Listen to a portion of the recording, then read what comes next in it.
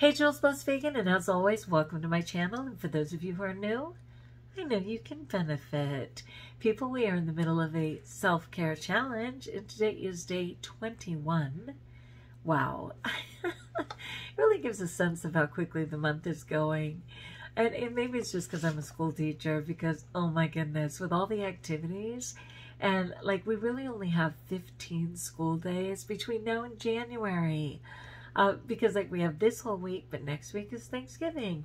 We have the next two weeks, but then we have Christmas break, and then suddenly it's January. It's crazy because we want to get so much packed in that time, and a lot of fun things too, um, like you know visits with Santa. And luckily, I'm married to Santa Claus, so that will not be a problem.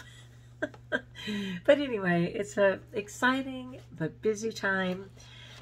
And I'm just ensuring that I am not losing myself. You know, uh, I'm not fretting about, excuse me, about what I can't have.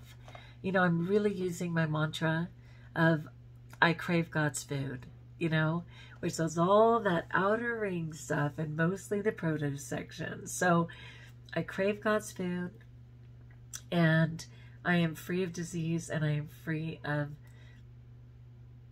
just any of the nonsense. And as we're coming into the holidays, I am going to absolutely honor myself by craving God's food. You know, happiness is a choice, eating God's food is a choice, and it's just the better way. But with our self care challenge, I'm always one day ahead. Today was to create a Zen den, and I had suggested that that could be an entire room. It could be a space in the corner of a room. I know my good friend 101 Annie at Instagram, Annie Beard, um, has like a corner of a room.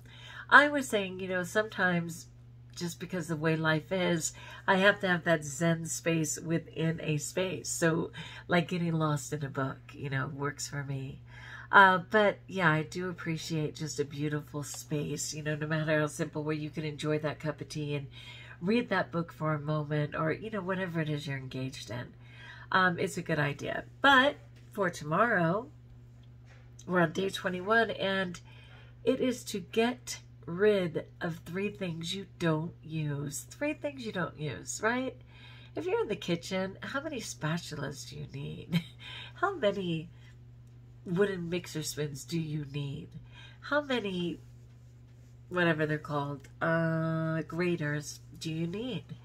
You know, like I had a whole second set of silverware and I just put it in a bag to donate because somebody needs that silverware and it's not me.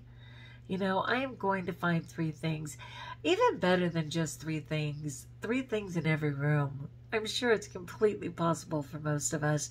And I, I know I have friends on here who have uh, decluttered many times. The amazing part is that you have to declutter again because it just keeps coming, right?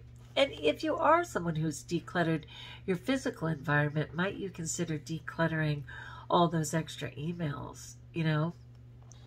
So it reads, out with the old. It's time to declutter your space and pick up three things you don't use to toss or donate. Please donate. Please donate.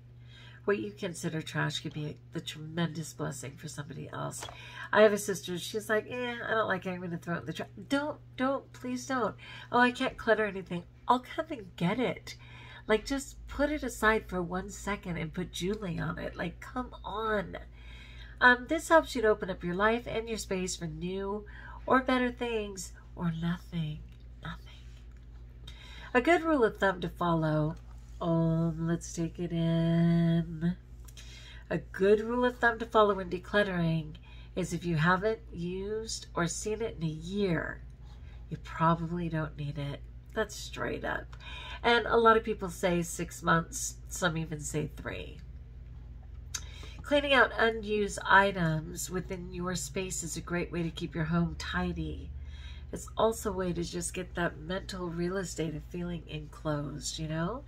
This can also help prevent dust and dander from building up in your home, which can cause allergies. Do not get me started. I have a husband who like really has a hard time letting go of things and I try not to sneak too much to where he'll panic. But yeah, I don't know. I don't even know. It's a big one. But three, absolutely. Three in each room, I welcome it. Like, yeah, I do secretly get rid of little things, you know, and sometimes he'll say, God, that's weird. I haven't seen whatever it was. Um, but you know, like even sneaking jackets out for the poor, you know, I, ah, uh, I gotta just, well, true, be true to me. Be true to me.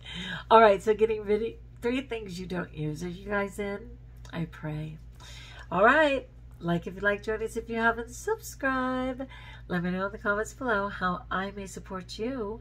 And until we talk again, best of all, know that you're blessed